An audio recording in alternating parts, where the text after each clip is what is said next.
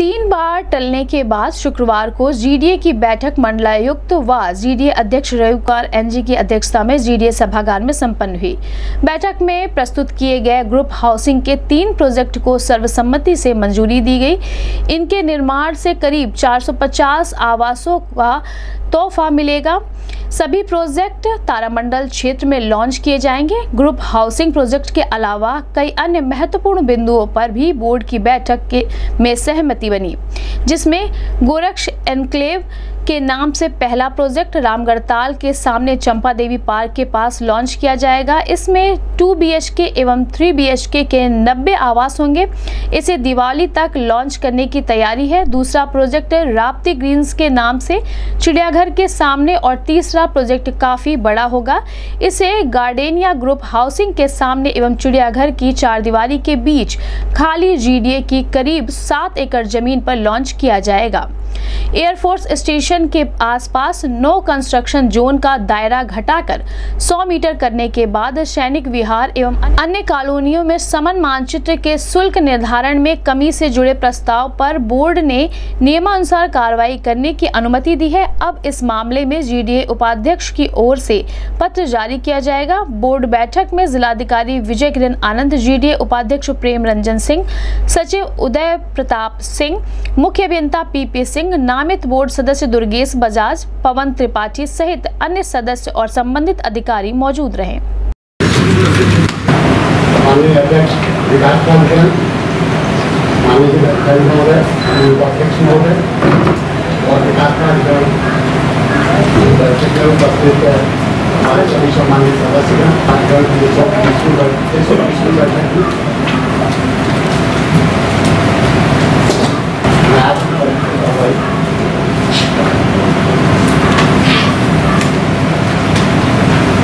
और मैं गोरखपुर विकास प्राधिकरण की एक सौ उन्नीसवीं बैठक के कार्यक्रम ये अभी जो आप लोगों ने एक सौ उन्नीसवीं बैठक के कार्यक्रम और इक्कीसवीं प्रस्ताव संख्या दो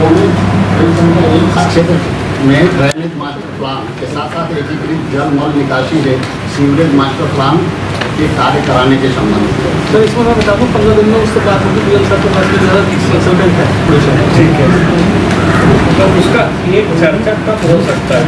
वैसा जस्ट उस पर जब जब जिस दिन नीति आ जाएगी सर उसके बाद एक बार यही बात ठीक है।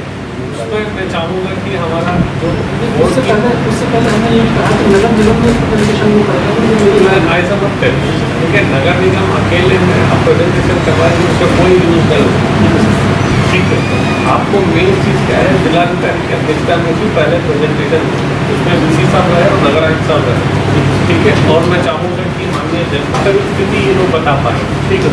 ठीक है? आप जो सुझाव आए हुए हैं उसको किस तरीके से आगे बढ़ाया जाए? एक दो। फिर उसके बाद स्टेप बाय स्टेप इसको इम्प्लीमेंटेशन का स्ट्रैटेजी क्या रहे?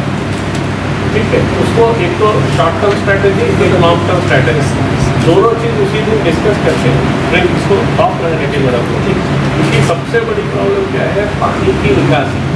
ठीक है। अब अगले बारिश के सीज़न के पहले हम लोगों का दायित्व ये है कि किसी भी हालत में पानी कहीं पे भी किन्हीं भी इलाकों में जिस तरीके से रोक रहा है, उस तरीके से ना रोक पाए।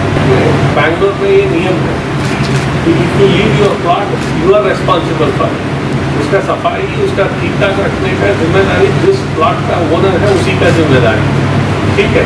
जहाँ पे लोगों ने प्लॉट ले लिया। सीवरेज सी एन डी जल निगम ही बनाएगा उन्होंने बना भी दिया है एक जोन का तो चल ही रहा है तो वो अलग यार इसमें सीवरेज उससे पहले सीवरेज नहीं बात- उससे पहले बात होती पर सीवरेज अलग कॉन्सेप्ट है ये अलग। सर उसमें एक सुझाव देना कि चाहिए कॉपी नगर निगम को भेज दिया जाए नगर निगम उसको खुद बैठ करके वो डिस्कस कर ठीक है उसके बाद वो सुझाव दे यहाँ उन, उन लोगों को भी बुला लेंगे तो बहुत ज़्यादा भीड़ हो जाएगी मेयर साहब को क्योंकि उसका कॉपी मेयर साहब को भी जाएगा उनके अध्यक्षता में ही एक मीटिंग हो जाएगी वो ठीक रहेगा दूसरा बिल है सर तहसीलदार को फॉर्म आया सर उनकी जाँच चल रही है इस महीने इनको कहाँ आवंटन करेंगे चौंतीस हमारे हब बने कियोस्क एक ही जगह है सर जो जो तरफ़ से पाँच सौ कुछ फॉर्म आए वटनी करके लगभग दो सौ ढाई सौ फॉर्म बचे उसकी लॉटरी तो फिर भी एप्लीकेशन कम हो जाएगी। बट उनसे आप क्या चार्ज करोगे नहीं करोगे। ये बुरा होता है नहीं नहीं चाहे ऐसा मत करो। शुल्क नहीं देना वो बाद में आउटसोर्स करके भेज देंगे। देखिए ये पैसा रखें मगर देखिए जो चीज़ मुफ़्त में मिलता है उसका वैल्यू नहीं होता। है